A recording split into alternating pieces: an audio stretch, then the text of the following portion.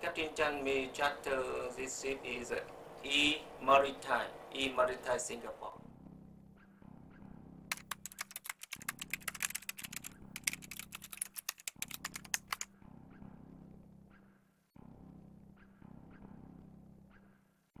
Huh? These are all mobile logs. Yeah, yeah, all mobile.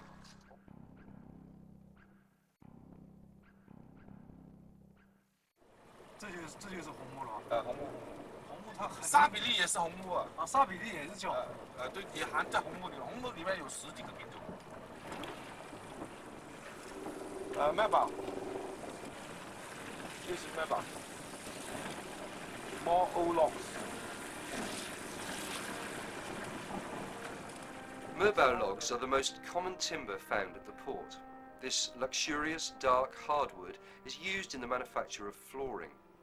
Most of these logs are contraband, stolen from the forests of Indonesia's Papua province and smuggled into China.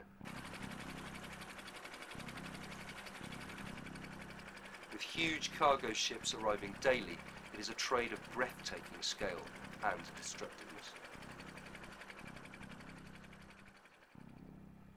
A new report by the Environmental Investigation Agency and Telapak exposes the massive illegal trade in Merbau logs from Indonesia to China. EIA and Telapak's report reveals how shadowy international networks are conspiring to steal huge amounts of valuable Merbau logs from Indonesia and smuggling the contraband to China using false Malaysian documents, often with the complicity of the Indonesian authorities. EIA and Telapak travelled to the Bird's Head region to investigate the impact of this logging on local communities. Jadi pihak militer yang sementara eh, berada di balik pengusaha yang sekarang masuk di wilayah adat Kena Saimos itu salah satu selain umumnya di tanah Papua yang kita sudah lihat. Powerful international criminal syndicates are making huge profits through the smuggling of Merbau logs out of Papua and into China.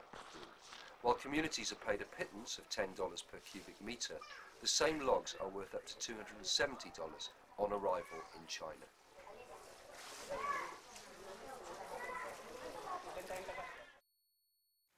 A few hours south of Shanghai is the industrial town of Nanxun. Known locally as Merbau Town, in the last five years hundreds of factories have sprung up in Nanxun, churning out thousands of kilometres of Merbau wood flooring. There are over 200 sawmills in the town processing Merbau logs, the vast majority of which have been stolen from Papua.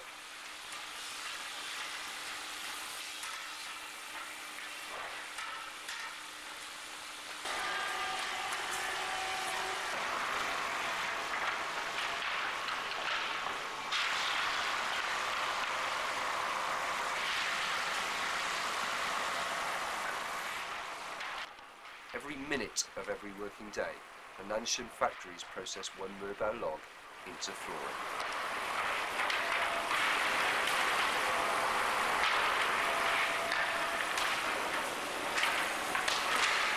While much of the Merbau flooring is used domestically to feed China's construction boom, many of the factories also export to overseas markets such as the US and Europe. The Shanghai-based firm Sihe Wood revealed to EIA and Telapak undercover investigators that they regularly export Merbau flooring to the UK, Canada and the USA. For mobile, I think every month we export about uh, 20, 20,000, 25,000, I think. 25,000 square metres. The massive illegal trade in Merbau between Indonesia and China is threatening the last pristine forest in the Asia-Pacific region. While a chain of brokers and middlemen are earning vast profits, the communities of Papua are being robbed to feed China's rapacious timber industry.